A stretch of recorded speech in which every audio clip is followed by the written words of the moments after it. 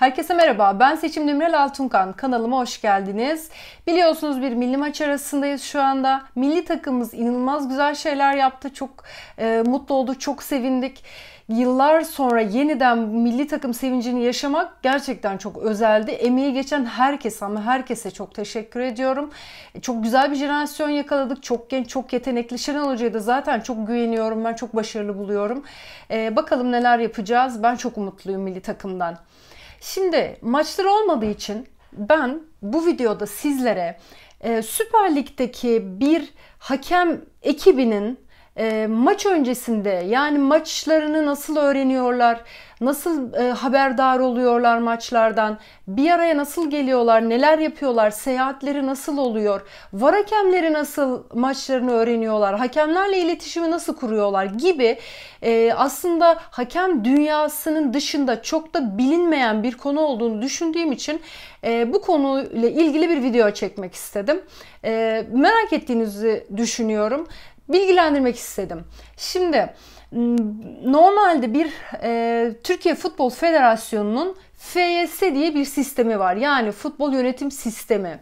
Merkez Hakem Kurulu haftalık etabını yaptıktan sonra o sisteme maçları ve görevli hakemlerin girişini yapıyor. Hakemlere o sistem üzerinden bir mesaj gidiyor. Bu mesaj her çarşamba günü e, sanıyorum sabah saatlerine yani saat 10'dan sonra o e, mesajlar hakemlere sadece müsabakanın hakemlerine e, gönderiliyor.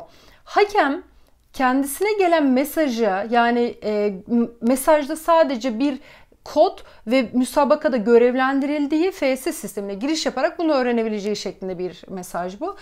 E, FS sistemine kendi şifresiyle bir giriş yapıyor ve müsabakasını yani hangi müsabakada görevli olduğunu, ekibinde kimlerin olduğunu, yardımcı hakemlerini ve dördüncü hakemlerini sadece var hakemlerini değil görebiliyor.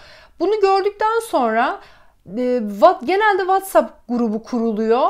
Yani telefonla da arayanlar olabilir.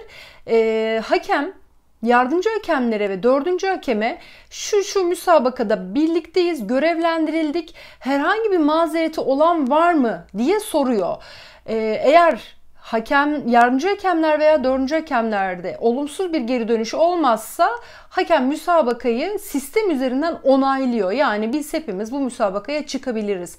Eğer bir problem varsa yani mesela diyelim ki e, aynı hmm, ya gerçi aynı ilinde demeyeyim ama ya herhangi bir sıkıntı var bir problem var. Yardımcı hakemler ya da dördüncü hakemler o müsabakaya çıkamayacak durumdalar. O zaman hakem bunu hakem işlerine bildiriyor ve onaylamadan önce eğer bir değişiklik yapılacaksa yapılıyor. Hakem daha sonra sisteme giriş yaparak onaylıyor yerine eğer yeni biri geldiyse problemli olan hakemin. E, bu giriş onaylandıktan sonra yani müsabaka onaylandıktan sonra bütün hakem ekibi yine o WhatsApp grubu üzerinden haberleşerek nasıl seyahat edeceklerini, hangi saatlerde hangi uçağı kullanacaklarını ve hangi otelde konaklayacaklarını hep beraber beraber karar veriyorlar. E, bunu mesela konaklamayı hakem genelde yardımcı hakemleri ve dördüncü hakemlerini görevlendiriyor bu konuda. E, ve her ilde hakemlerin aslında konaklayacakları oteller genel anlamda bellidir.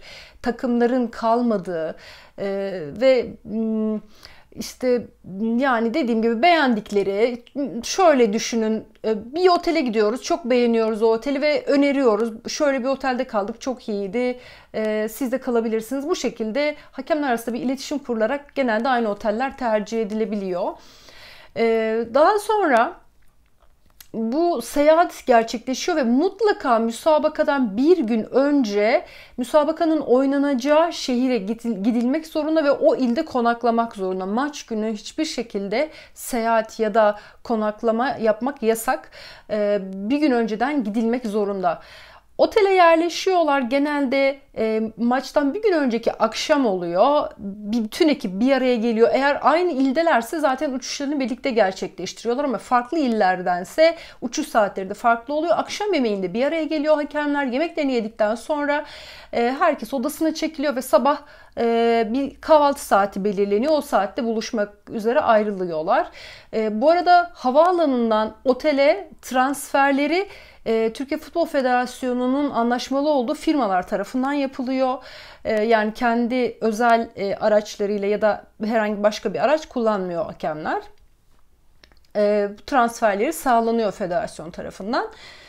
Müsabakanın oynanacağı gün sabah dördüncü hakem e, ekipten ayrı olarak bir eş güdüm toplantısına gidiyor stadyuma. Genelde stadyumda bir, yer, bir oda belirleniyor. Bu eş güdüm toplantısında dördüncü hakem e, stat görevlileri, müsabakanın temsilcisi ve takım temsilcileri yani takımdan sorumlu e, kişiler orada oluyor. Bir toplantı gerçekleştiriliyor maçla ilgili. E, bu burada işte güvenlikle ilgili konuşmalar, takımların sorumlulukları ile ilgili, hakemlerin takıma iletecek, takımlara iletecekleri, e, işte hangi çerçevelerde kalmaları gerektiği ile ilgili söylemler gibi konular konuşuluyor. Burada ayrıca bir, bir de şöyle bir şey yapılıyor, yapıyor dördüncü hakem. VAR sistemi ol, olduğu için e, bütün telsiz sistemlerini yani hakemde bulunan bir telsiz sistemi var. Beraber e, bütün ekiple haberleştiği ve VAR'la iletişim kurduğu. O telsiz sistemini e, sahadaki VAR operatörüne veriliyor e, VAR operatörü eşleştirme yapıyor Riva ile. Riva'daki VAR e, sistemiyle hakemlerin sistemlerini eşleştiriyor.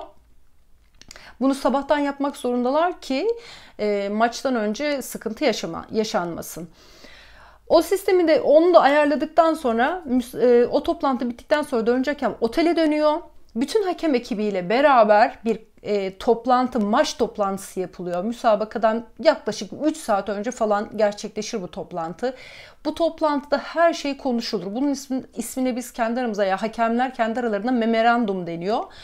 E, burada işte hangi oyunculara dikkat etmek gerekiyor, işte maçta beklenmedik neler olabilir, her türlü şey konuşulur. Hakemler, yardımcı hakemler ve dördüncü hakemlerle beraber hakem ne istiyor yardımcılarından, yardımcı hakemden ne bekliyor, dördüncü hakemden ne bekleniyor, neler yapılabilir, önlem almak için ne, neye önlem alınmalı, nasıl alınmalı gibi.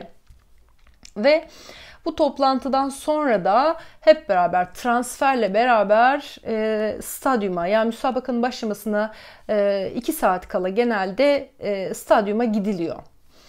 Peki VAR hakemleri tebligatlarını nasıl alıyorlar ve hazırlıklarını nasıl yapıyorlar?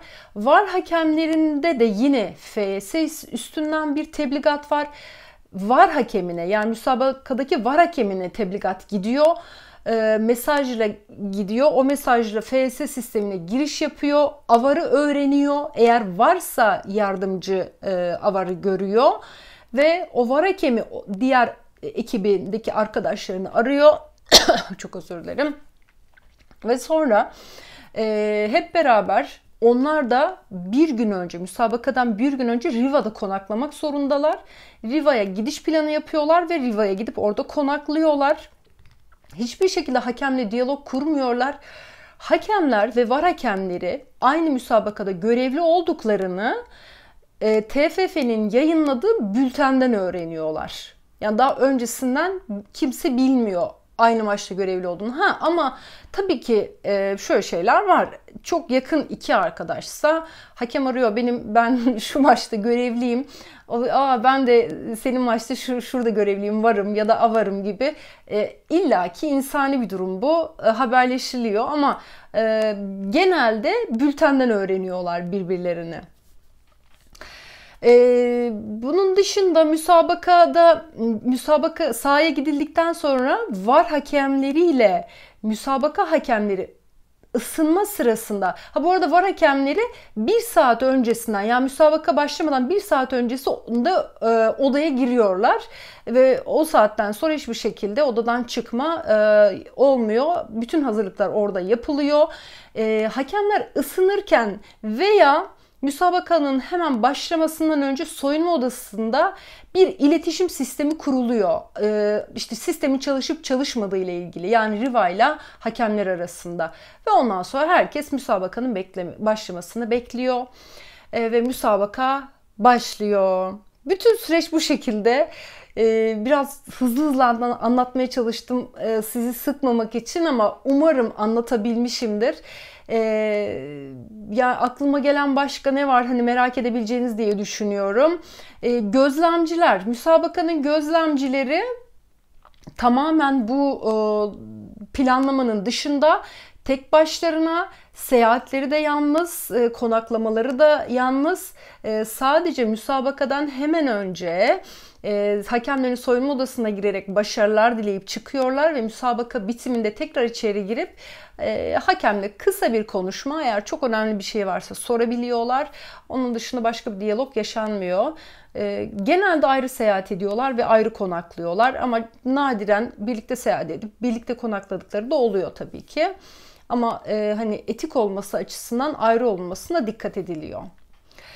Ee, benim anlatacaklarım bu kadar. Eğer bunların dışında merak ettiğiniz bir şey varsa veya benim atladığım bir şey varsa videonun altına e, sorularınızı yazarsanız cevaplamaya çalışacağım. Beni dinlediğiniz için teşekkür ederim. Herkese benden selamlar, hoşçakalın.